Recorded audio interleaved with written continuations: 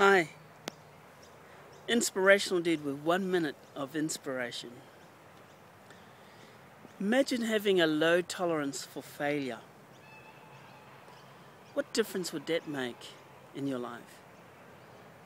If you are a creative person, creating products, creating artwork, creating music, and you think about having a low tolerance for failure, how much creativity could you get? How far would you be willing to go? What about in your business? Having a low tolerance of failure. What difference would that make to you in terms of your sales, your presentation? And what about in terms of your relationship? Having a low tolerance of failure.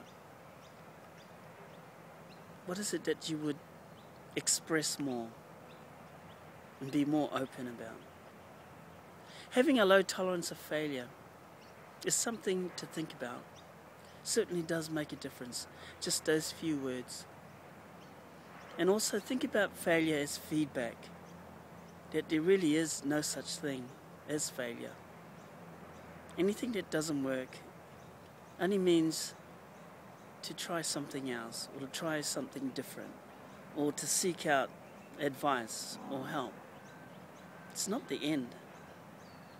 Failure is always a step towards improvement, towards innovation, towards creativity. And in the end, orchestration, because you bring all those things together. Starting from failure often becomes something magnificent. So think about it for one minute today, about having a tolerance for failure, and see what difference that makes in your life. Peace and love. Cheers.